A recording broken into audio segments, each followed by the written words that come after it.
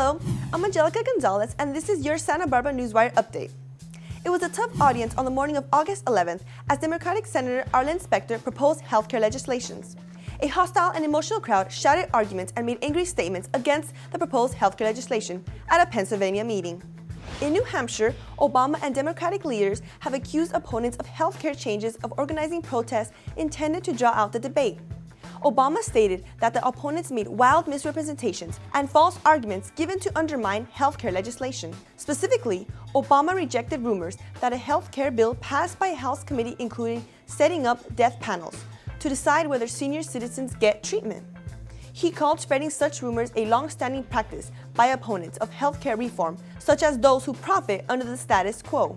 Obama stated, what is truly scary, what is truly risky is to do nothing noting that the premiums paid for healthcare coverage were rising three times faster than wages and that the Medicare program for senior citizens would run out of money within a decade. He repeated guarantees that a healthcare overhaul won't force anyone to give up health insurance they liked and won't cut Medicare benefits. And he stood by his election pledge that he won't raise taxes on people making less than $250,000 a year. At the same time, Obama defended his call for a public option to compete against private insurers.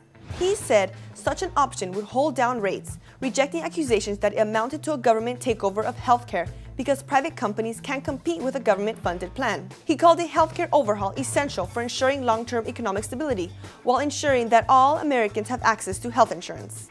Republicans and some Democrats reject the public option, which they believe will lead to a takeover of the healthcare system and prove too costly.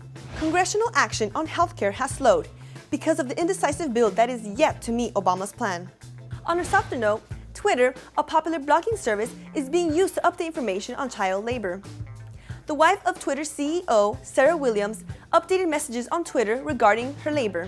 Williams announced when her water broke and of her need of an epidural.